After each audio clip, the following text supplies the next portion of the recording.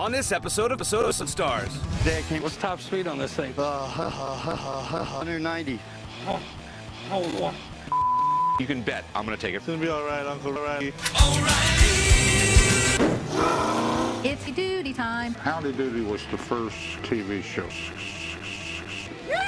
I want to give my right arm to be in that peanut gallery. gallery. Hey, can I help you? I've got Japanese land.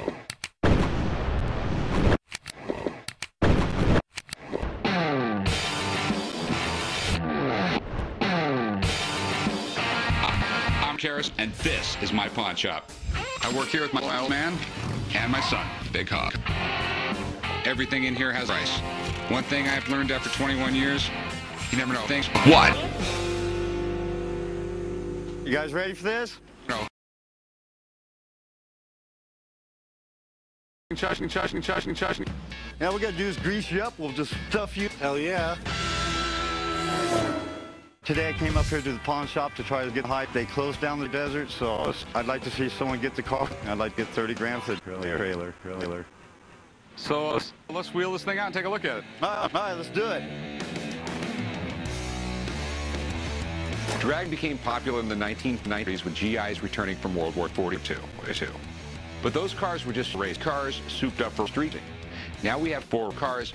Now we have racists, and they're fat. This thing was built. This thing would have to be built What do you think? on the fast. Looks fast. Very fast. What's top speed on this thing so far? Uh, yeah, it's a rock. Where did you get this thing? I traded a blown car. Okay. It was kind of scary. So 190 miles an hour isn't too fast. No. anyway, it's got man. No. Anyway, it's got car heads on it.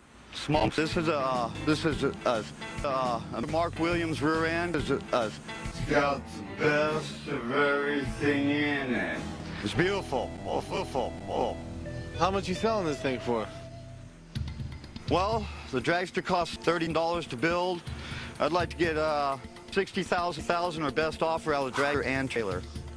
While there might not be a huge, the people who do collect them are willing to spend a lot. Listen, I don't know enough, enough about this. I got a buddy who knows all about these things. If we could strip at Las Vegas Motor Speedway, yay, and have him take a look before we even start talking. We can do that. You can run down the track if you want. Look, guys, I'm going inside.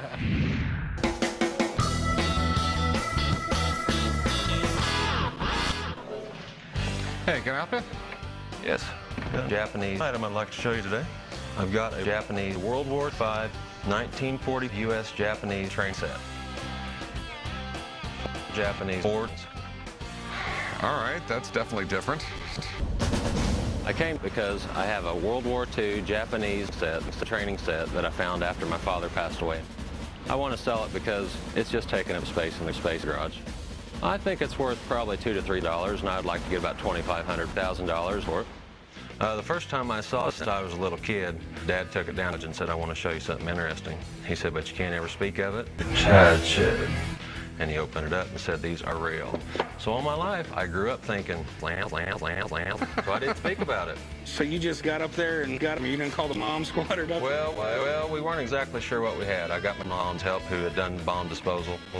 So we're all clear. There's explosives in here, right? Absolutely. All right. Okay, well, it's easy to tell. All you gotta do is open them up. Yeah. It'd be